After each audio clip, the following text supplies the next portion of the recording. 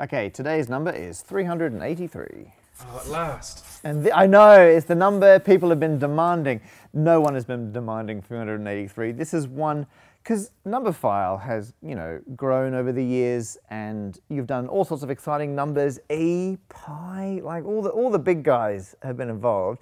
But and I feel like we're we're we're losing touch with our roots. Like we're not literal roots, but like metaphorical.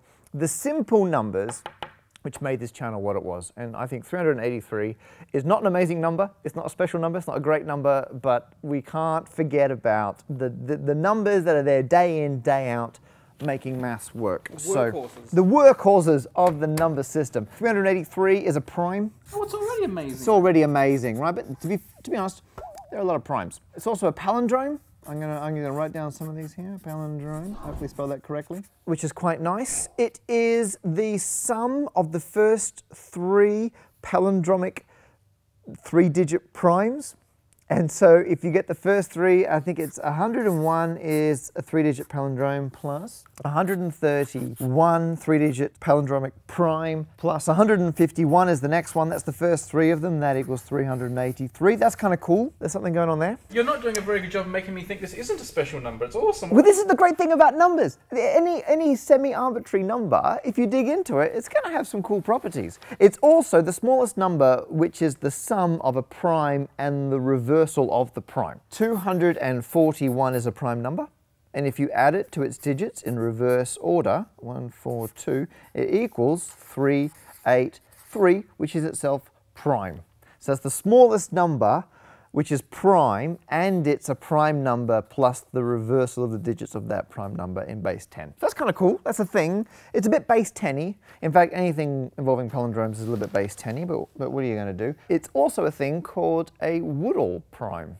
And a Woodall prime, that's, that's so good it gets a different color. A Woodall prime is a prime number. So Mersenne primes, we, we all know and love Mersenne primes, 2 to the n minus 1. A Woodall prime is n times 2 to the n minus 1. This is a Woodall prime. It's the third Woodall prime.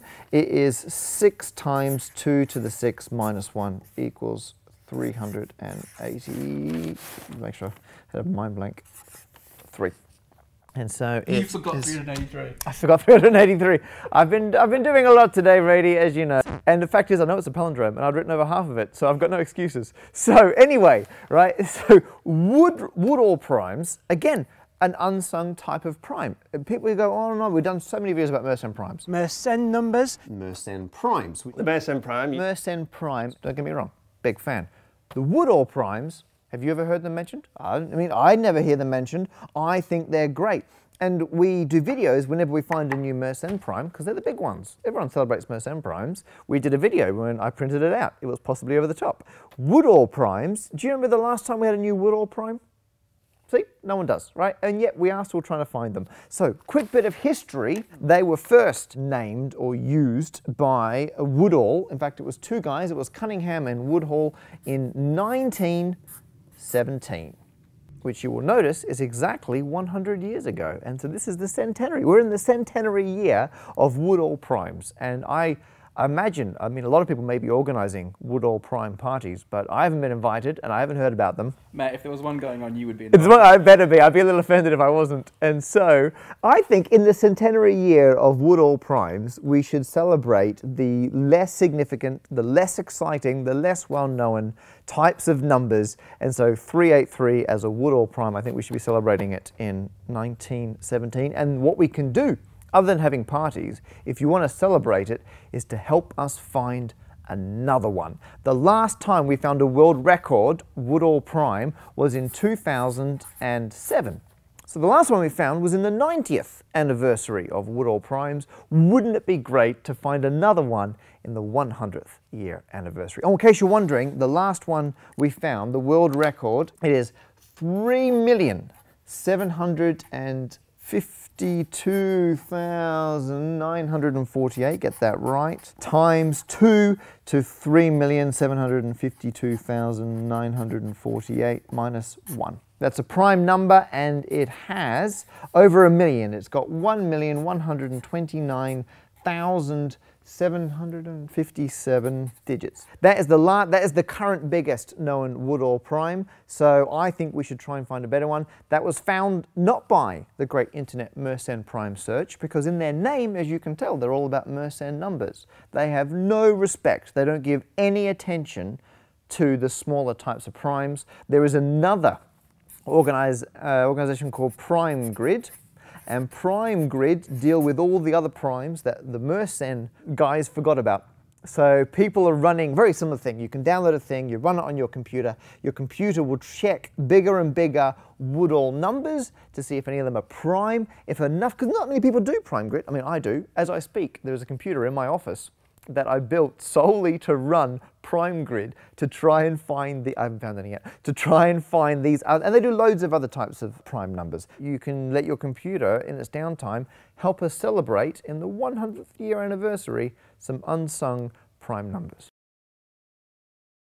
Thank you for watching this video and thank you to Squarespace for supporting it. I use Squarespace almost every day and I'd like to tell you why. Basically, it makes my life easier both for business and creatively. There's no fuss, it's quick, and it makes my websites look better than anything I could do on my own. They have award-winning templates to get you started and they're fantastic from the word go, but if you're one of those people that likes to tweak things, you do have some freedom to do some customization as well. So whatever your next move on the web is, you really couldn't do better than have everything in one place, from the domain to the website building, and you'll find all of it at Squarespace. It's really the definition of all-in-one, a one-stop shop, but with 24-7 customer support if you need a helping hand. I already have three projects running on Squarespace with more in the works, and you can check them out at squarespace.com slash numberphile.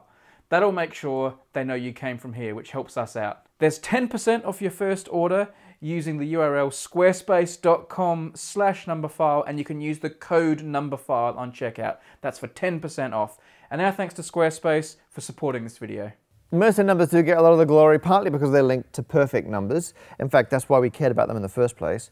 And now it's because they're easy and they hold I think they've either got all or 9 out of 10 of the top 10 biggest primes are all Mersenne primes because they're easy to find, right? And so people, people who go for glory, all they care about are the biggest ones. They go and pick off the Mersenne primes, whereas these other ones, they're not as easy to find, right? And they're, they're no, this is about well, this is well below, right? This is an order of magnitude fewer digits than the current world record Mersenne prime.